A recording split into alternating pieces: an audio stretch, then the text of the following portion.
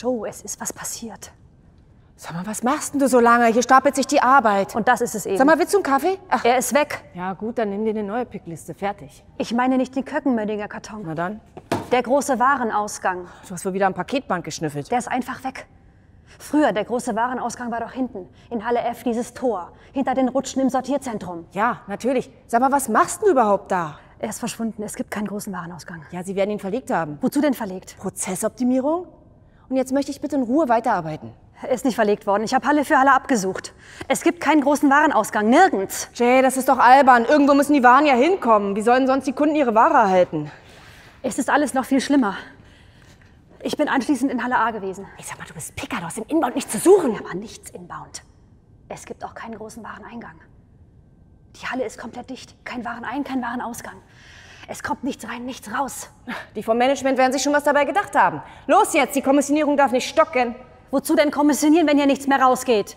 Irgendwo wird der große Warenausgang schon sein. Wir brauchen den Zentralplan. Den hat da noch nie jemand mit seinen eigenen Augen gesehen. Ja, und warum nicht? Ja, weil es ihn nicht gibt.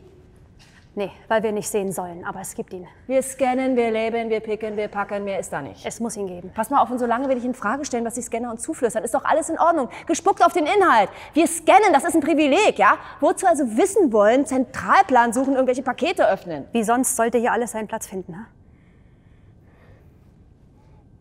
Aber Sie haben ihn gut verborgen vor uns. Mysteriös. Joe, wo würdest du auf keinen Fall, unter keinen Umständen, niemals nie den Zentralplan suchen?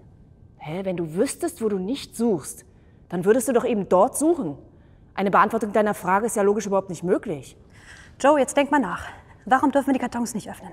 Beschädigung der Ware, Diskretion, Diebstahlschutz. Denkst du? Denk Und ich sage, der Zentralplan befindet sich in einem der Kartons. Und darauf verwette ich meine Ration Erbsen in der Kantine. Und jetzt komm und hilf mir suchen. Ich dachte, du hast mich.